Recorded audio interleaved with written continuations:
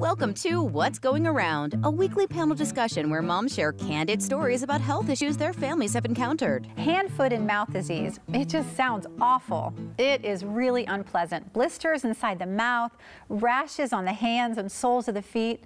Moms, Centra Care doctors say it typically starts with a sore throat. And people call it like HFM. I'm like, oh, I don't know that store. And then I realize they're talking about like the bumps on my kid's hand. I'm like, oh, right. But if it looks like an ant bite, how are we? I feel like all the time I'm looking, going, oh, do you have this? Yeah. Or, and maybe when they're running a fever, I'd immediately start checking for the a rash of some sort. But if you're a first time mom, you're probably like, oh my God, like And it this sounds it sounds awful. disgusting. But It it's sounds very awful. common. I know when my daughter had it, we just mm. found like the little red bumps mm-hmm. on her foot. But again, that was after she kind of had been running a fever. We just thought she had a cold. Right. And then you find that out, and then you have to, you know, if you choose to backtrack to let everyone know who you've been hanging out with. So with. it's too late but- by the time you Right. find out. Um, because when my kids had it, we took him straight to the pediatrician, and she's like, "Oh, don't worry about it because he's probably already had it for 10 days."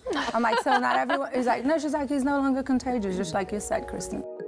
Now, typically, you'd need to see a doctor so they can treat the disease, and it's fairly easily transmitted by coughing and sneezing, so definitely keep your child home from school.